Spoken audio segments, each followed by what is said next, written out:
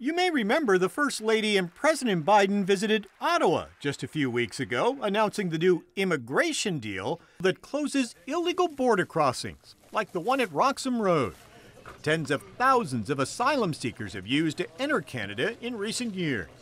That new agreement took several months of negotiations between the U.S. and Canada, Frederic Gagnon, who is a political science professor and the director of the Center for the Study of the United States at the University of Quebec at Montreal, says the deal likely wouldn't have happened if the Trump administration were still in power.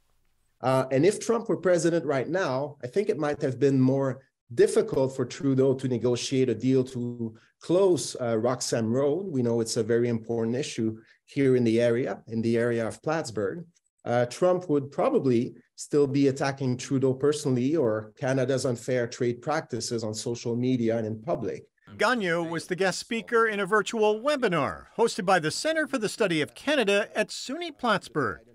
Gagnon says the former president's anger over tariffs and his contentious relationship with the prime minister would have likely kept the two countries from reaching an agreement on immigration. You can watch that full webinar from the Center for the Study of Canada on our website and YouTube channel.